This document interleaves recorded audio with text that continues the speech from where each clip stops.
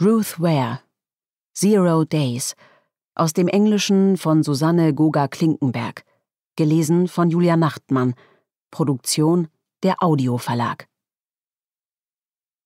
Samstag, 4. Februar. Minus acht Tage.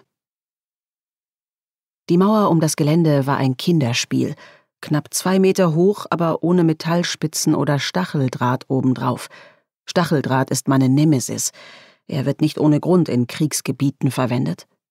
Mit meinen 1,70 reichte ich nicht weit genug hinauf, um mich hochzuziehen, also kletterte ich auf einen Baum mit einem stabilen Ast, der über den Parkplatz ragte.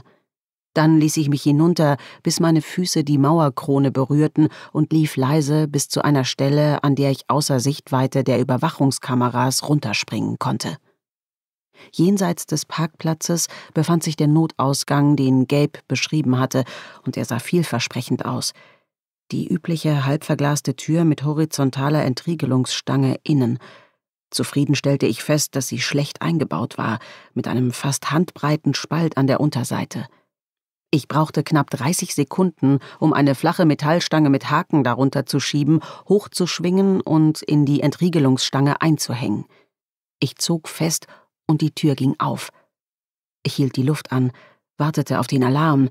Notausgänge sind immer riskant, aber es blieb still.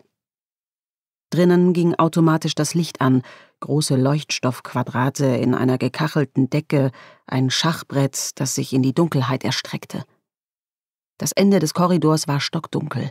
Die Sensoren dort hatten meine Bewegung noch nicht registriert, aber der Bereich, in dem ich mich befand, war taghell. Ich blieb stehen, um mich an das grelle Licht zu gewöhnen. Licht ist immer ein zweischneidiges Schwert.